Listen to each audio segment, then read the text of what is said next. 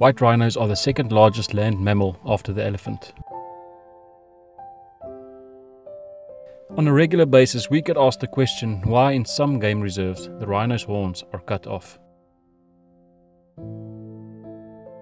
Uncontrolled hunting in the colonial era was historically the major fact in the decline of white rhinos. Today, poaching for the illegal trade in their horns is a major threat. Powdered rhino horn is used in traditional Asian medicine as a supposed cure for a range of illnesses, from hangovers to fevers and even cancer, while it is commonly believed to be prescribed as an aphrodisiac. This is not the case.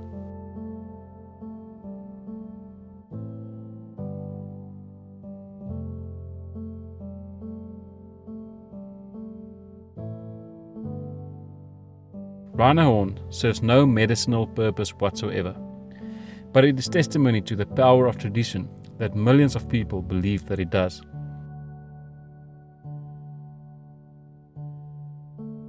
The recent surge in rhino poaching has been primarily driven by the demand for horn by middle class citizens in Vietnam as a status symbol to display success and wealth.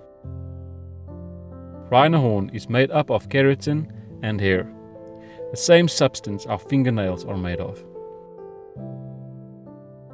It seems to be that the demand for rhino horn is on the increase.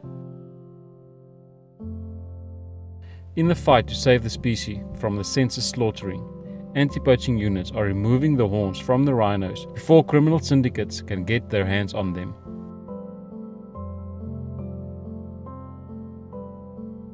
With the poacher's price removed, the risk to the hornless animal is greatly reduced.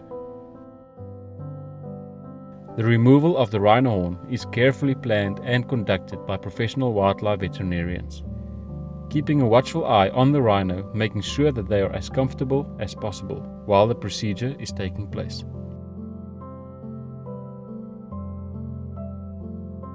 This is not something they want to do. It's a very expensive and invasive procedure but a necessary evil to fight the fight against the poaching of the rhinos.